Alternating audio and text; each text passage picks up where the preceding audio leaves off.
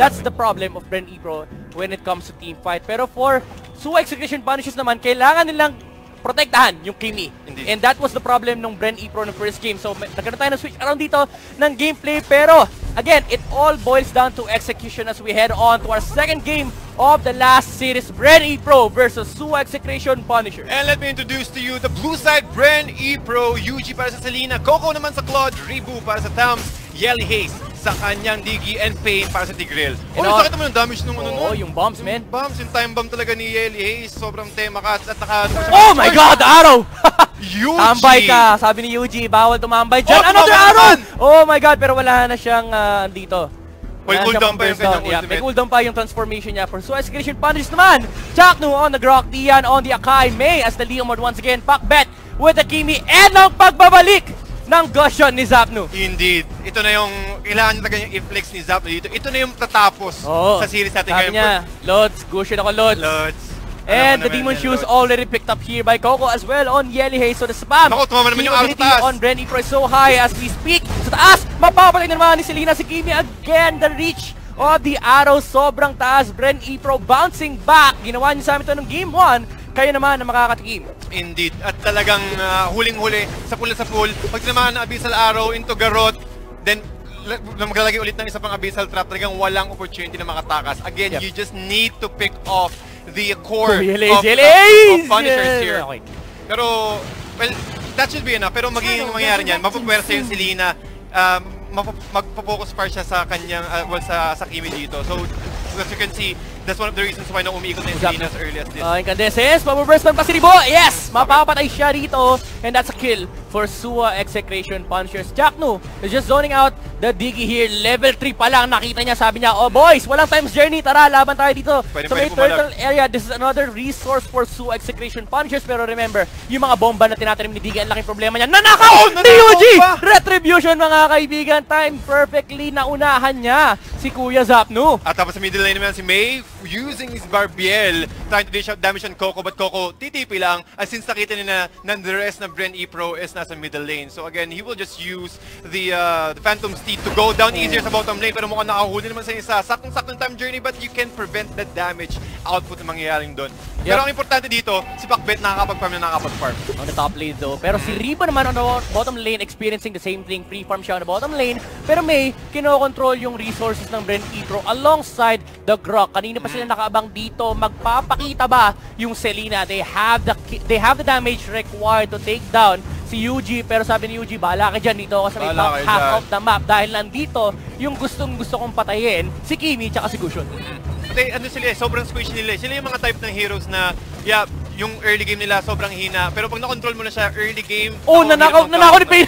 Naka, nakuha pa ni Pain yun. Nako po, mukhang nag-practice sa recto mga kaibigan ng Bren E Pro pero Suwa Execution Puncher sa may bottom lane naman gagalaw and tinawag na si. Barbiel na nakaw pa yung buff Wow! si Ribo Sulit na sulit. Si Ribo makakatakas pa. And again, popping his ultimate, he didn't want to overcommit. Again, two Isolation Punishers really showing their discipline when it comes to their play. Well, yung aggression din naman, since hindi natin kailangan mag-overcommit sa bottom lane eh. Kasi yung top lane naman is lamang na lamang tayo. So if, if you're going to count it, dalawang lanes ang panalo ng Suwa Exploration Punishers, middle lane sa Brent E Pro. But then again, it's quite early to tell.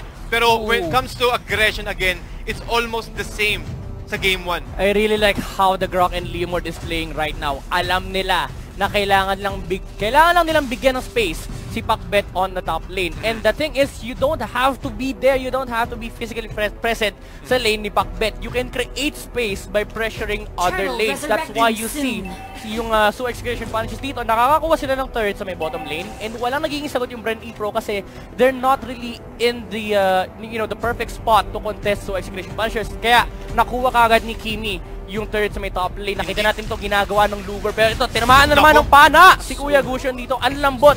Kinalmot ni Selena and that's a kill for Bren E Pro equalizing the kill score. Indeed. 3 to 3 na mga kaibigan. It- We're about to hit our 5 minute mark. Si Pain mukhang sumusugod. Inahanap si Chaknu and also May. But eh, makita natin kanina, Mage Killer nga. Naka-jungle emblem yung ano, yung uh, Kimi dito. Kaya napakabilis silang pumosh. Kasi yun din yung kulang nila sa draft nila eh. Well, they do have a, a lot of uh, burst damage or magical burst damage from the Gushon. They just need that physical attack na kaya mag-dish out ng structural damage reset. sa side ng Suwa Execution Punishers. Also the reset for the Turtle. Pero nag, mukhang nagkakaabangan lang. Meron pa rin silang idea yung uh, Suwa Execution Punishers na meron sa side, merong tao sa side, or rather sa brush area dun sa pinakamaliit na yun. Turtle- on behind of Ren E Pro si Yeli Hayes falling low pero hindi enough in damage dito from the Gusion pero it is gonna be a clear turtle take from Suha Execution Punishers this time without Yuji there Mm-hmm. to contest the take of Suha Execution Punishers. And uh, Bren Epro, naghahanap lang ng magandang position para makahuli ng Yuji. kalaban against uh, Execration Punishers. But si Coco nandun din naman, pero hindi pa enough yung ang item siya para makipagbakbakan sa, sa next team pa ito. 5 minutes, 48 seconds pala mga kaibigan, Oh 6 my God. minutes at- Pero look at the, ano, aggression. Look at the look at the aggression of Suha Execution Punishers everywhere on the map mga kaibigan they're gonna be able to take down the Claude BOD already on the Kimi. This is a marksman indeed from Suha Execution Punishers. Tore lang! Tore lang yung papansinin ko. Bala kayo dyan! hindi siya abot ng Tore, tol. Hindi Oo, di siya abot ng Tore. Kitang-kita nyo na in-update na yung graphics niyan mga kaibigan. Yung dulong below, kitang-kita mo na saan tatama. Dalawang turret kagad, under 10 seconds yung nakuha ng Suha. And mind you, yung Leomord natin may sariling mundo sa baba. Kanina pa siya nag-farm doon. So all lanes again are being controlled by Suha Execution Punishers. The arrows are not hitting three turrets under a minute. Wow, under a minute for Suwa Execution Punishers. At almost ito rin yung ginawa nila kanina nung game 1 eh. Okay, Selena magpa-farm, isolate, since alam naman nila na kaya nila makipagbakbakan or at least reduce the casualty sa side ng Suwa Execution Punishers kahit apat lang sila. Yep. Hindi ganun, ga- hindi gaano masakit kung sakali. Pero looking at the items here, Pakbet at si May going for a BOD. Dalawa na agad ang BOD ng Suwa Execution Punishers. Again, the damage, the structural damage na kayang ibigay ni Kimi dito is sobrang delikado. Bren Epro, they need to fight early. Kaso mangyayari, ang mangyayari dyan, hindi makapag-farm yung mga core heroes ng Bren Epro. And ito yung problema ng Bren Pro. You have a Selena na hindi nag-snowball. You have to adjust your itemization. Kailangan mo kunin yung Clock of Destiny to be able to utilize the charges. And on the side of Suwa Execution Punishes, yung counterpart niya na Mage, meron ng Lightning Truncheon heading towards the Clock of Destiny as well. Wow. At well, good thing naman yan kapag nakuha niya ng 10 Turtle charges eh. But ang tanong, hahayaan ba ng Punishers na umabot pa sa ganung klaseng punto? Exactly. Since, well, as you can see, dalawa, well, dalawang group ang Suwa Execution Punishers ngayon, tatlo sa bottom lane at dalawa naman sa top lane. Kasi enough Oo. na yung protection ng ano eh, ng Kimi dito, kahit yung Akai level Pre, intense. Ope, napakasakit ng damage dito ni Grok, pati Negosyon, Zapnu, trying to burst down the Digi, pero ang kailangan lang nilang kunin is yung objectives. 7 Oo. minutes, 45 seconds, wala ng outer turrets. Ang Bren E-Pro, this is very fresh indeed mga kaibigan. Bren E-Pro playing from behind and Suwa Execution Punishers taking the outstanding lead. 7k gold, gold advantage and they're, they're just one game away from, uh, you know, taking the series away from uh, Bren E-Pro. At sila makakauna makatusi rin dito kung sakali. But habang nangyayari naman yun, again with the CC control from Chaknu, hindi hindi siya mapupul dito. Arrow, Momentum, arrow. again with Abyssal Arrow, mukhang hindi tatama. Pero open na open dito ang Lord. At nakikita natin sa ating minimap on the upper left-hand corner, Kimi taking out the Lord by himself. At ito na nga yung ah, tulong May. Sige, sa- sabihin natin, medyo matagal yata yung ah, pagbasag mo. Sige, tulungan na kita. Oh, Ako Lord. yung tatangke dito. Pero, Lords, yung Lord natin, Lords. yung Lord natin, Lord. Pero kapag umangat na yung ano niyan, pag umangat na yung ah, yung creeps sa middle lane, most probably it will be a very difficult time for Bren Ebro to defend Op, against the next wave. Okay lang yan. This is how you protect the Kimi. Papatay mo yung akay mo sa may middle lane, Bloodlust Axe already on May. Nakakatawa lang, naka-bounty hunter yung Leomord natin pero kanina pa siya nag-farm. Might as well have went for... eh, might as well go for the high-end driver. Sabi niya, wala akong pakialam. Nananalo na kami. Importante dito yung resources. Hanggat nakukuha ko lahat ng pera sa, sa, sa mapa at as long as naka-counter ko, nakukuha, nai-stealan ko rather ng, ah, ng gold si Yuji. It's also with Coco, focus na ako dun eh. Goods na ako dun kahit hindi na ako sumama sa team fight eh. Yung missile ni Pakbet, ang sarap kalahati kagad buhay ni Coco. ang, ang sakit na ganyan. Especially sakit for sa mage ngayon, sobrang lakas na ng kanyang first kill. exactly. At, uh, well, with the jungle emblem as well, mage killer, ubus ubus talaga kaagad. Paano mo makokontrol yung Selena, men? Parang, parang ano yun eh, parang nireverse lang yung pangyayari kanina eh. Yep. Against Selena, kailangan mong, kailangan mong angkinin yung ano yung jungle. Kaso mahirap no, paano mo angkinin yung jungle kung wala ka ng outer turrets, wala ka ng map advantage. And this is the ano ah, yung uh, Bren Pro. Although meron silang Tigreal na naka-attack and defense emblem, the thing is yung ibuboost niyang damage wala pa. Na Leomord, again, tutusukin na lang itlog mga kaibigan. Yun lang trabaho nitong Leomord na to, eliminate the Digi away from Bren Pro. So you have a safe way of engaging in team fights. Hurricane Dance is gonna be used. Blazing Oh, Blazing! Duel! Wala kay Coco! Napakagandang tulak din! Mula kay Tigreal! Double That's what I'm kill! talking about. Para kay Ribo, pero Swag Nakahuli pa si Yoshi sa mid lane. Ayun! Isa-isa sila nahuhuli nag-audition ang mga lods natin mga kaibigan. Yung Itlog naghahabol pa sabi ni Itlog dito, Oy, may hero pa! May yung hero pa. Secretion Punishers Ribo, naghahabol siya rito.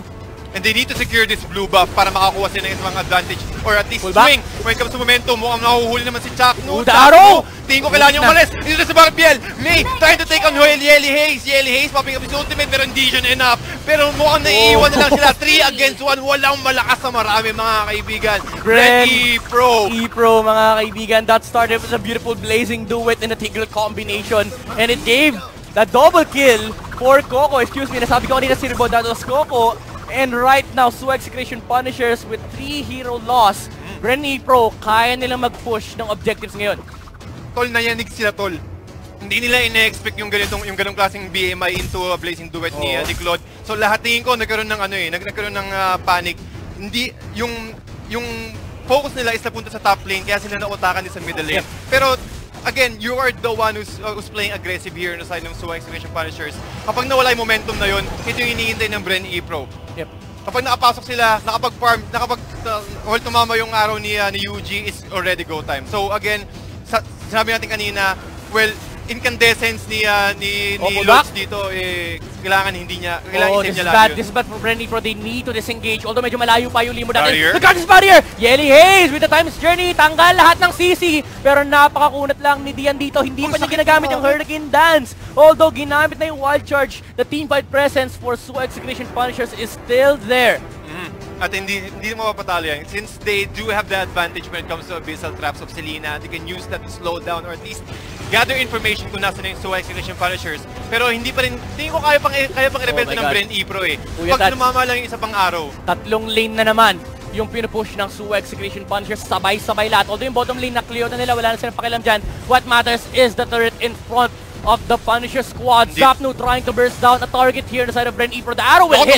The arrow will hit Zapno here pero makakatakupo siya again with the safety of the team fight Bantay presence pa rin ng Akai. Banday sarado. Na- Nakita mo yung positioning ng Akay doon nung tumama yung araw. Sabi niya, oh, sige, subukan mo. pumasok. Subukan mo. Hurricane dance ako yung Like mo. isolate kita. Like mo. Like mo, Lods. Share mo, Lods. Ano naman mahirap doon. Pero, again, the discipline from Swag Execution Punishers, yung adjustment na nakikita nila, again, they're really thirsty sa, sa, sa, sa panalo nito. At kung sakali, sino mabibinyagan nila? Bren E-Pro. Exactly. At ang laking ano nun, ang laking confidence boost nun kung sakali mat, kung sakali kung sakali sila yung mauna makaka 2-0 rather. Queen Swings picked up by the Tams. It is the uh, situa- situa- situational item na kailangan niya. Pag kailangan niyang tangkihin lahat ng damage output Indeed. ng kalaban mo, hindi yan yung perfect item para kay Tams. Pero right now, it is what Brent E-Pro needs. Kailangan kailangan ng additional frontliner for the Selena as well as the uh, the uh, Claude. Pero ang problema mga kaibigan, eh, ang Lord natin, eh, nagmamarcha na sa bottom lane. Pati 12 minute mark na pala, so umiilaw na yan. Buffed up na yung, ano, yung uh, Lord natin dito. Again, ladies and gentlemen, from the recent patch, pag umabot na ng 12 minutes, yung Lord is magkaroon na siya ng skill, umiilaw na yung, uh, yung, yung katawan niya, and it will be easier for uh, for Su Exclamation Punishers to dish out damage sa bottom lane. Literal na Lord na siya, kumikinang na. Oo, kumikinang Pero talaga this is amin. interesting ah, si Pacbet naka-hybrid build. Meron siyang Oo. Ice Queen 1, meron siyang Blade of Despair, at the same time, meron siyang Wind of Nature. Hybrid build. Yung Kimi natin nagbabalik mga kaibigan ng MPL Season 2. Pero ito, Su Execution Punishers, they're inside of the base of Bren E-Pro right now. Si Lordy na ampas, nakikipagsundukan kay Ribo. Nakikipagsundukan kay Ribo. Pero si Chaknu, zoning out the heroes of Bren E-Pro. Si Kimi, habang tamang trabaho lang. Tamang trabaho lang. Lord. Si Pain dito soaking up so much damage from the Kimi. Sinusubukan niyang harangan yung mga bullets mula kay Macbeth. Pero the turret will be destroyed. Brute. Oh, oh, Berserker's Fury, pinutulamahan niya ito, Macbeth! Oh We're able to take down Coco and Rebo. Oh, the rocket! Tama naman yata si May! Mukhang mag-take down yata siya. Okay na rin makakuha. Pain again, taking out another one.